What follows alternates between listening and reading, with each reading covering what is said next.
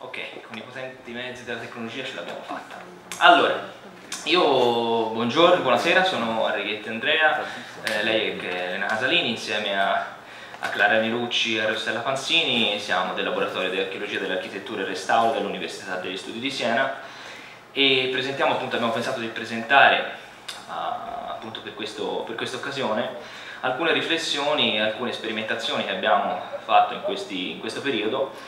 su modelli tridimensionali generati attraverso la nostra strumentazione che utilizziamo in laboratorio, che è una strumentazione, eh, appunto dopo lo presenterà brevemente Elena,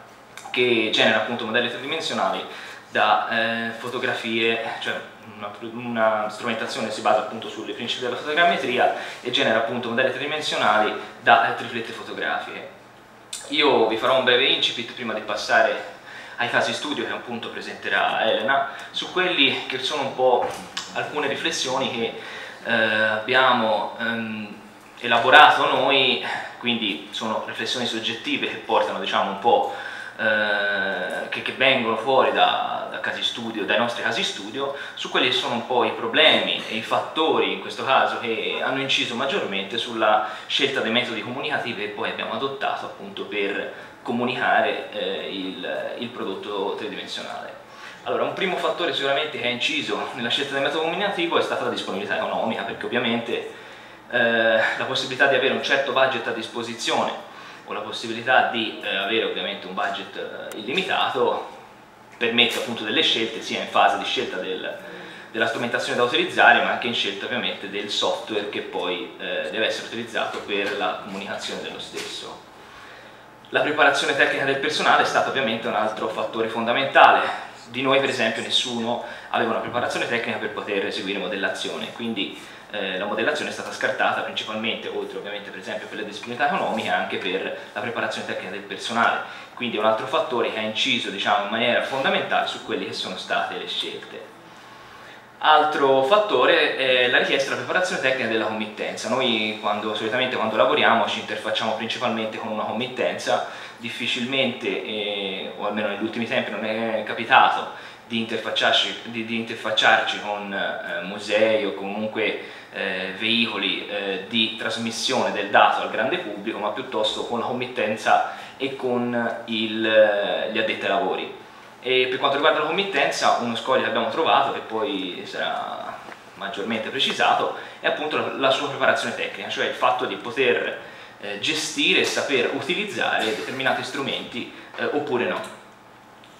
E le caratteristiche dei prodotti generati a rilievo, ovviamente ogni metodo comunicativo si interfaccia un po' alle eh, caratteristiche del prodotto generato, quindi un prodotto con una densità maggiore o con una densità minore avrà un, su, un suo strumento comunicativo o ovviamente, ovviamente l'operatore dovrà effettuare delle scelte per eh, decidere se eh, presentare il modello eh, con un nuvola di punti e scegliendo un metodo comunicativo oppure altro.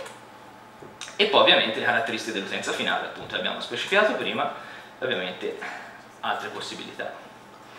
Quindi noi per comunicare in 3D in archeologia avevamo questa esigenza, da un lato la comunicazione del modello 3D, e dei prodotti derivati da questo, in questo caso per esempio la, i nostri modelli 3D creano DEM, wireframe 3D, sezioni e così via e quindi innanzitutto dovevamo cercare di comunicare il modello stesso. Accanto a questo però dovevamo comunicare anche il dato archeologico, cioè fondamentalmente quello che viene fuori dalle, dalle analisi archeologiche da, dall'analisi archeologica stessa alla caratterizzazione delle tecniche costruttive, alle cronotipologie e così via. Quindi quello diciamo, che è stato il risultato dall'integrazione di questi due tipi di comunicazione è quello che noi definiamo il modello 4D, ovvero un modello che permetta di eh, integrare quello che è il dato archeologico, quindi il fattore tempo, la quarta dimensione, all'interno di quelle che sono appunto le tre dimensioni che ben vengono rappresentate dai modelli tridimensionali e al numero di punti appunto che noi generiamo.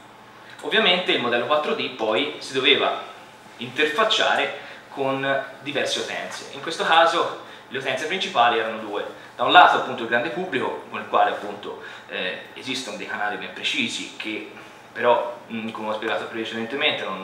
non, ci hanno riguardato in prima persona perché non ci interfacciamo noi principalmente il grande pubblico e con gli addetti ai lavori, invece dove i canali eh, sono stati un po' vagliati per vedere quali potevano essere eh, gli strumenti eh, che più si adattavano diciamo, alle nostre esigenze. Allora in questo caso ci siamo posti innanzitutto un problema, cioè eh, per due, questi due tipi di utenze eh, creare due prodotti differenti, utilizzare una comunicazione diversificata oppure per lo stesso prodotto oppure utilizzare prodotti differenti con, un, con una comunicazione diversificata, quindi utilizzare entrambi i canali. E un altro quesito è la committenza dove si pone in questo caso, negli addetti ai lavori o nel, o nel grande pubblico. Per quanto riguarda la committenza diciamo che noi eh, ci siamo un po' trovati, non solo noi, diciamo, è un'esigenza abbastanza comune per chi si occupa di archeologia dell'architettura, anche parlando appunto con Andrea Fiorini è uscito un po' questo, questo problema, il fatto che mh, quando ancora non si parlava di 3D diciamo, il, l'iter diciamo, di, di, lavoro era più o meno questo, cioè si partiva ovviamente da lo studio di un edificio storico, cioè la committenza ci, ci, diceva appunto di studiare un edificio storico, noi facevamo il nostro rilievo strumentale bidimensionale, le analisi sul campo solite, quindi stratigrafia, caratterizzazione delle tecniche, sistemi costruttivi e via, e così via, e poi andavamo ovviamente a produrre una, un, de, alcuni elaborati appunto in 2D, quindi piante, sezioni, prospetti, ortofotopiani, analisi stratigrafica e così via da consegnare alla committenza. E adesso il 3D che cosa succede? Succede che abbiamo lo stesso edificio storico da studiare, ci facciamo un bel rilievo strumentale tridimensionale, quindi una nuvola di punti ben definita, densa, che ci aiuti nelle nostre analisi sul campo, quindi ci, diano, ci dia delle informazioni maggiori per, su, da utilizzare appunto per eh, queste analisi e poi alla fine la committenza non viene altro a richiederci gli stessi prodotti 2D. Mm, quindi piante, sezioni, prospetti, ortofotopiani e, e così via. E, cioè praticamente l'iter è più o meno lo stesso, le richieste sono praticamente lo stesso, l'unica cosa che cambia è che noi facciamo un rilievo strumentale tridimensionale per poi ritornare a questo punto al, al bidimensionale. Quindi a questo punto una, uno, diciamo, uno, dei problemi che molto spesso ci, ci, dice, ci dà la committenza è il fatto, bene, noi abbiamo questo modello tridimensionale, questi sono i prodotti che noi sappiamo utilizzare, che eh, ci servono, quindi che ce ne facciamo del modello tridimensionale? E quindi diciamo ci siamo un po', eh, abbiamo un po' riflettuto su questa cosa, abbiamo cercato di eh, produrre una serie di eh, esempi che potevano appunto interfacciarsi e potevano essere utilizzabili appunto eh, anche da loro stessi perché semplici e perché ovviamente permettevano di integrare eh, quel, tutto quello che era il nostro lavoro. Eh, adesso appunto passo, eh, passo, la parola ad Elena che ci eh, informerà appunto, ci, ci parlerà di, questo, di, questi due esempi che hanno caratterizzato un po' il rilievo di quest'ultimo anno. Sì, io vado a illustrarvi um, due esempi dei lavori che il nostro laboratorio ha portato avanti e sono, fanno parte del lavoro che noi abbiamo fatto e dal quale poi sono scaturite le considerazioni che parte ha fatto Andrea che poi riprenderà nelle conclusioni. E io parto dal rilievo di due torri che sono state fatte, è stato fatto a Siena per un progetto di tesi di laurea e sono due torri situate nel centro di Siena, all'imbocco di Via Montanini e l'interesse dato da questi due edifici è in particolare riferito al fatto che presentano paramenti eh, sia la torre A sia la torre B presentano nei paramenti elementi di rimpiego ehm, romano di, databile del periodo romano, eh, secondo fonti d'archivio riferibili a un arco, l'arco di San Donato, che doveva essere sito in questo eh, luogo. E la metodologia utilizzata per il rilievo delle due torri è Zscan, è un software eh, non open source che prevede l'utilizzo di un treppiedi di una macchina fotografica calibrata appositamente e di una barra ehm, che permette l'utilizzo della fotografia secondo i criteri fotogrammetrici per eh, l'estrazione di nuvole di punti e poi la resa volumetrica in 3D. All'operatore il programma lascia la possibilità di intervenire per quanto riguarda la densità della nuvola di punti, quindi eh, anche l'accuratezza del dato, eh, viene lasciata la possibilità di selezionare l'area di interesse e poi appunto la creazione di, tramite la, le triplette, la creazione di modelli tridimensionali parziali che vengono successivamente ehm, uniti tramite un successivo software, ZMAP, che permette eventualmente anche tramite l'utilizzo di punti rilevati con stazione totale, ora in questo particolare caso no, ehm, volendo comunque una delle opzioni che il programma permette di fare. Il, il, prodotto finale è una volumetria 3D, ora eh, in questa torre manca la parte superiore, dovete considerare che questi sono edifici un po' problematici in quanto hanno una continuità di vita mh, senza soluzione di continuità, tuttora vengono abitati e giustamente i privati non sempre sono disponibili a lasciare che uno riprenda casa propria. Insomma. Quindi ehm, i prodotti generati, i prodotti che mh, questa tesi è riuscita a generare, oltre al prodotto wireframe 3D, è il Digital Evaluation Model, il DEM, eh, sempre tramite ZMAP. Il, ovviamente il wireframe 3D, in quanto ZMAP permette di disegnare, di applicare il disegno CAD alla, alla nuvola dei punti, eh, che poi è stato impiantato su una, sulla pianta in generale. Altra, altra, possibilità che viene data all'operatore è di eh, analizzare stratigraficamente eh, l'elevato e quindi con creare sull'ortofoto poter lavorare e poter individuali, individuali, individualizzare le, le fasi dell'edificio. Eh, come comunicare tutti questi eh, singoli risultati eh, è un problema in quanto ortofoto, DEM, ehm, modello 3D sono eh, presi singolarmente, sono file che hanno estensioni pesanti e diverse. Quindi il problema che la, questa tesi ha posto era come riuscire a comunicare tutto insieme il dato che alla fine era, eravamo riusciti a ottenere. E, mh, sempre l'operatore che ci ha fornito i due programmi i due software con i quali abbiamo lavorato, ha fornito anche Site Manager, che è un ottimo eh, prodotto per la comunicazione del dato, e, in quanto con pochissime semplici mosse permette di eh, creare lo stream del prodotto, del prodotto 3D e eh, è estremamente eh, vantaggioso in quanto eh, permette di legare allo stream del prodotto 3D lo stream anche del DEM, del, del disegno CAD, di qualunque cosa tramite eh, questi piccoli eh, elementi sferici che vengono inseriti nella, nella nuvola 3D e mm, sono dei link, quindi non viene caricato il file e quindi non, non si creano file dalle estensioni estremamente pesanti, mm, poco maneggevoli e poco trasportabili, come si è visto prima è un problema che eh, capita e sentito, essere linkato anche con eh, informazioni banche dati già online. I vantaggi ovviamente sono appunto la, crea la creazione di un file che è trasportabile, che è facile, che mh, mm, può lavorare anche con CAD e con altri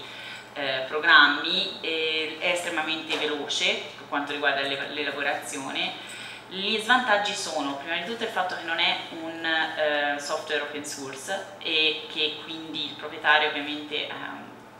decide un costo parzialmente accessibile. Non sempre i file CAD sono importabili, specialmente se presentano archi esplosi o eh, sono estremamente complessi, dà un po' di problemi nell'importazione del file CAD e, e, purtroppo non tutti i formati eh, possono lavorare sul, sul site manager. Uh, il secondo esperimento che abbiamo voluto fare per la comunicazione, e di questo dobbiamo ringraziare il professor Martini del Dipartimento di Preistoria dell'Università di Firenze, è stato un rilievo di una sepoltura preistorica e abbiamo voluto sperimentare su questa sepoltura eh, i vari metodi di rilievo che avevamo e sui quali ci stavamo esercitando. Quindi abbiamo fatto, li abbiamo paragonati e mm, abbiamo usato Evo eh, e UMAP, sempre concesso dalla Minci Software. Evo è l'evoluzione di Z-Scan, sostanzialmente il principio fotogrammetrico è lo stesso, ma non, c'è più bisogno di un treppiedi o di una barra, le foto vengono fatte a mano libera. Un D3D Catch, che è il programma open source del CAD, Photosynth e PM, PMVS Bundler, anche questo open source. E per la gestione dei modelli MeshLab, mentre comunicazione del prodotto eh, un D3D che ci permette adesso anche di fare video, quindi abbiamo sperimentato. Queste sono le immagini di partenza, quindi questa, la sepoltura viene presa con la telecamera che ovviamente gira intorno, questo è il principio che utilizza un D3D catch, quindi varie prese di telecamera, principio fotogrammetrico base, e mm, diciamo che come tempo di elaborazione un D3D catch ha una velocità quasi impressionante in 5 minuti, fornisce la texture, punti, una buona media 162.675, abbastanza una densità eh, non eccessiva, non troppo accurata. Il problema della texture di Letter di Catch è che ci siamo resi conto che ehm, tende a, a, stendere, tende a tirare poligoni, ossia dove eh, la nuvola di punti, non, dove non riesce a estrarre la nuvola di punti spalma la texture, creando una texture fittizia. Quindi forse come risultato, eh, come risultato è, può essere applicabile per un grande pubblico sicuramente perché ha una resa di grande effetto, però per chi deve magari andare a fare studi eh, precisi, puntuali, eh, ancora è un programma sul quale si può lavorare. Photosynth, eh, altro programma open source, ha dato una, una resa bassissima eh, per quanto riguarda la densità delle nuvole punti, pressoché inutilizzabile. Tempo di lavorazione rapido, però mi dà un prodotto che non posso utilizzare né ai fini di studio né in realtà ai fini di divulgazione presso il grande pubblico perché è pressoché incomprensibile, non dà la texture.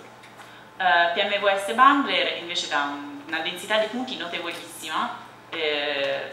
praticamente il doppio di quella che dava un 3D Catch, tempo di lavorazione è un quarto d'ora, quindi tutto sommato affrontabile, non mi dà la texture né ho possibilità poi di agganciarla alla nuvola di punti. Eh, diciamo che eh, dà una nuvola di punti che lascia alcune lacune eh, sensibili, come potete vedere. L'ultimo esperimento è stato con Evo, che è appunto l'evoluzione di Z-Scan, eh, buona densità di punti leggermente inferiore a quella di Bundle, tempo di lavorazione sostanzialmente identico, non ha la texture ma eh, Evo come Z-Scan prevede un post-processing che può essere applicato con Z-Map. E mh, parte di questo post-processing è anche applicare la texture al prodotto tramite la triangolazione dalle foto. Quindi eh, si crea una nuvola di punti sulla quale posso lavorare con poche lacune, precisione tutto sommato attendibile e la possibilità di applicare la texture video. E questo abbiamo deciso di baloccarci tra virgolette nel senso che uno dei problemi che ci siamo sempre posti è come rendere eh, il 3D anche per, visivamente a chi si avvicina o per la prima volta o visite museali, che, che sia anche una cosa attendibile e, e che renda l'idea. E questo è un video che è stato realizzato con un 3D Catch quindi una, una buona, sicuramente rende l'idea, buona resa, anche abbastanza spettacolare e non ha, non prende, non ha un'estensione che prende una memoria significativa, praticamente trasportabilissimo.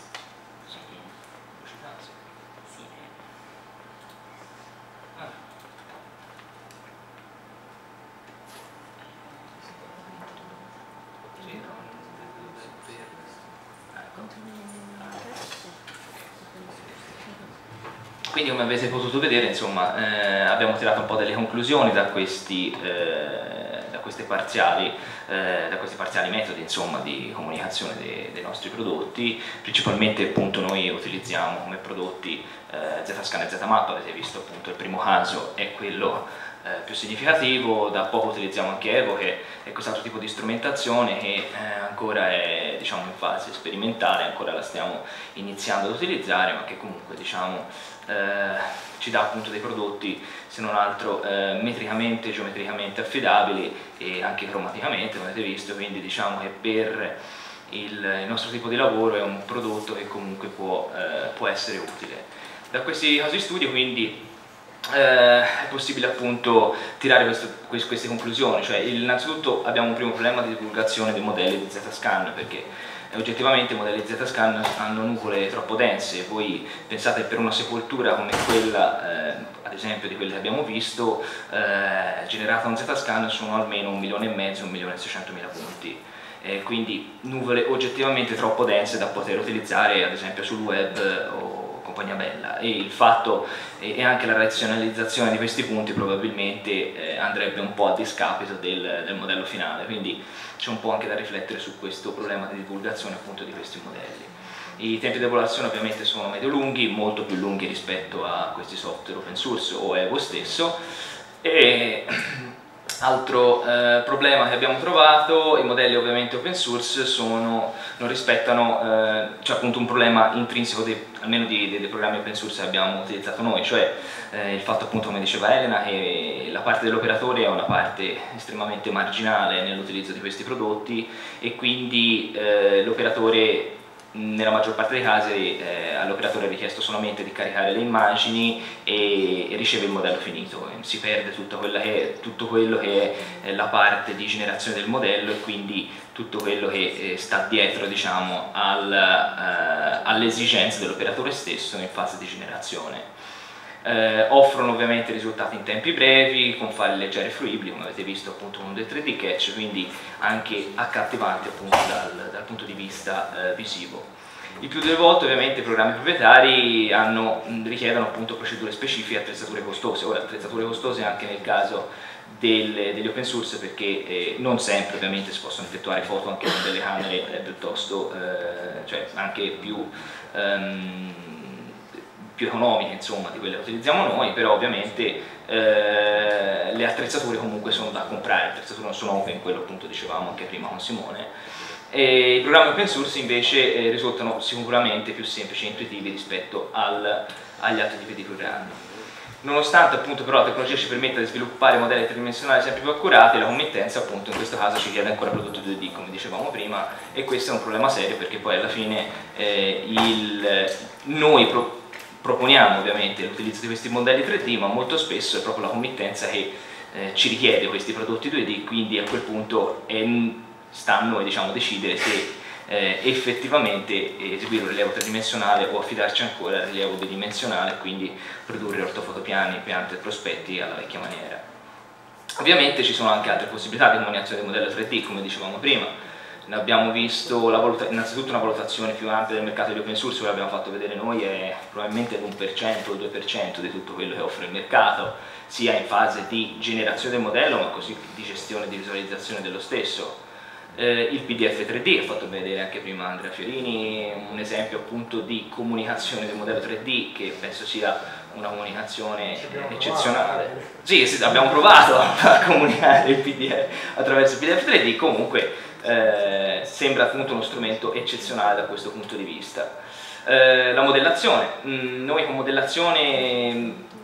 ci piace diciamo, la modellazione come diceva prima Simone, diceva prima Simone scusami, eh, nel quale si integrasse un po' il lavoro dell'archeologo, cioè quello che veramente resta nel, eh, dal rilievo tridimensionale, eh, pensiamo ad esempio alle fasi costruttive di un edificio storico, eh, lasciare quello che viene dal rilievo dell'edificio storico di un colore oppure magari lasciandogli la texture, il resto portarlo in trasparenza o di un altro colore, quelle sono le interpretazioni dell'archeologo delle varie fasi costruttive che ovviamente eh, interessano l'edificio nel corso del tempo. Un tipo di modellazione di questo tipo secondo me è, è utile e dà, è accattivante sicuramente, dà l'idea molto molto più eh, concretamente di quello che può essere appunto la costruzione e l'evoluzione appunto edilizia, eh, non solo ovviamente di un edificio ma di un intero contesto. Così il wireframe 3D, noi un metodo che abbiamo utilizzato ad esempio di comunicazione del prodotto, che adesso non abbiamo potuto mostrare, è eh, la, eh, il disegno sul, su un contesto specifico, su un edificio, su un complesso architettonico, attraverso eh, appunto creando un volumetrico con le parti essenziali delle varie fasi costruttive e poi proporre un'evoluzione semplicemente eh, in wireframe, quindi semplicemente attraverso eh, delle linee